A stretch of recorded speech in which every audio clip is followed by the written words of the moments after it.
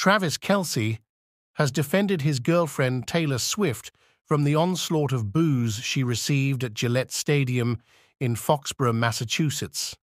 In a new episode of his New Heights podcast, the 34 year old Kansas City Chiefs tight end addressed how New England Patriots fans reacted to the pop star's presence at the game on 17 Decem.